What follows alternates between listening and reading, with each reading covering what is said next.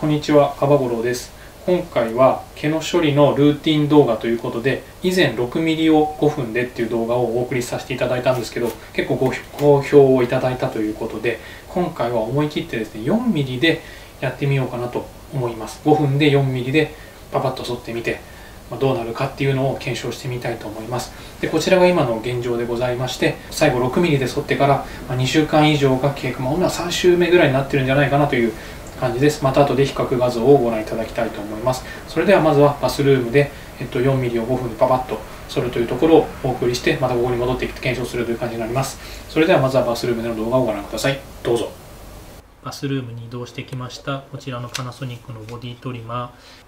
反りの深さが 4mm になるようにここのダイヤルを設定してありますそして iPhone のタイマーで5分で鳴るようにセットしてパパッと反ってみてどうなるかっていうのをこれから見てみたいと思いますそれではトリムを開始していきますはいスタートしました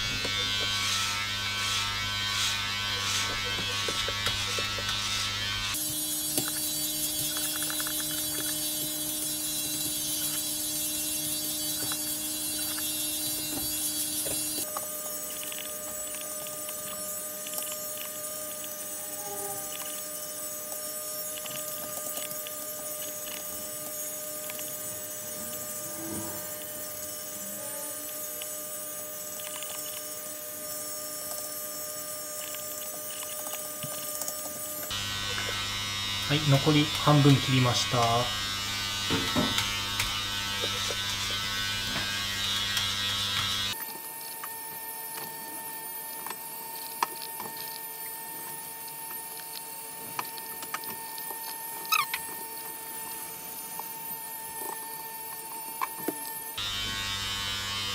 い残り15秒です。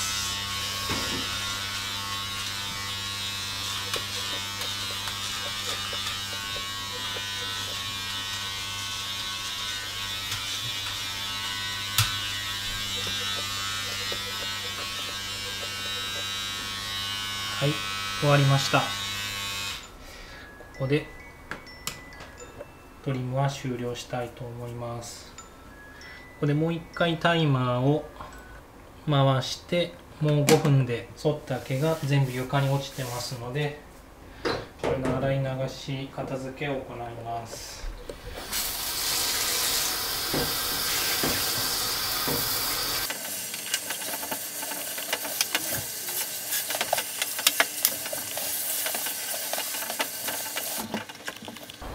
はい、今約1分半ぐらい経ったんですけど、まあ、洗い流しはこんな感じでと、あとこの排水溝に溜まった、ちょっと今見えないようにしますけど、剃った毛の山をですね、ティッシュかなんかに包んで、まあ、捨てるというのと、まあ、あとこの体を服なんかも含めて、全部足してまあ10分ぐらいかなという感じの、まあ、剃る時間5分と片付け5分で、まあ、大体10分ぐらいのルーティンかなというふうに考えていますと。いう感じです。というわけでこれで、えっと、バスルームでの動画は以上になります。この後あの部屋に戻って剃る前とこの剃った後で違いがどうかっていうのを検証していく内容になります。よかったらご覧になってください。どうぞ。というわけで 4mm で5分間でパパッと剃ってみたのがこちらの足になります。ちょっとくるっと回ってみます。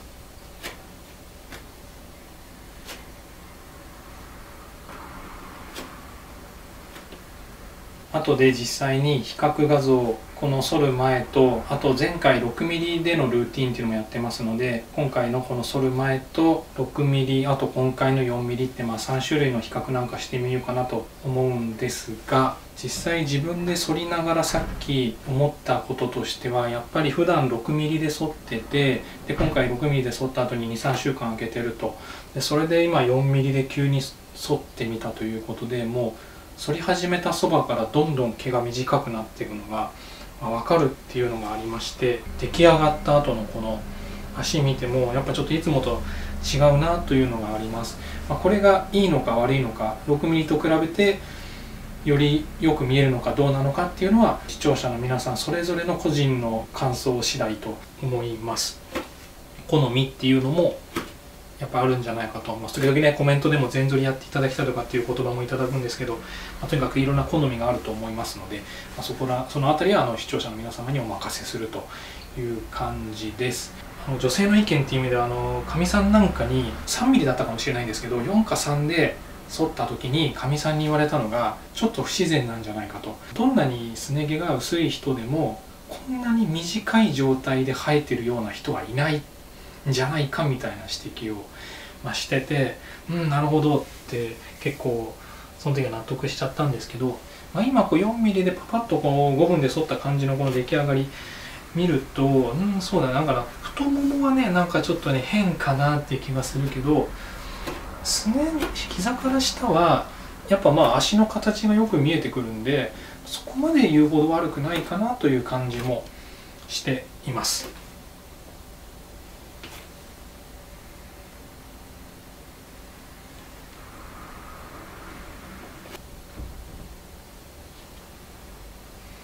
少なくとも23週間さっきのまでの状態と比べて定期的に剃るということによってやっぱさっぱりした印象になるというのは 6mm も 4mm も変わらないかなと、まあ、つまり定期的に剃っておいた方が清潔に見えるかなというのは私自身も個人的な感想としてあります。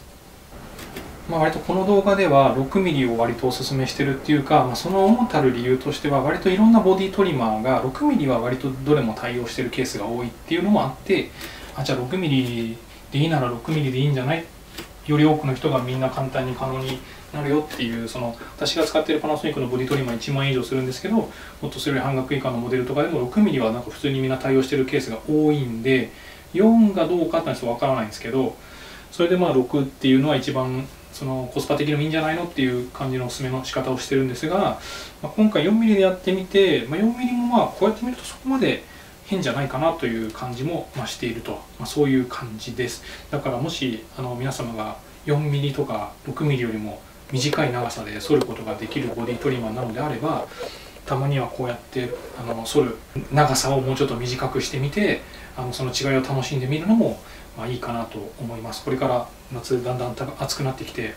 あの短パン履く時期ますます増えていくと思うんで是非よかったら何かの参考にしてみてください。はいというわけで今回はパナソニックのボディトリマーを使って、え5分で 4mm パパッと沿ってみてどうなるかっていうのの違いを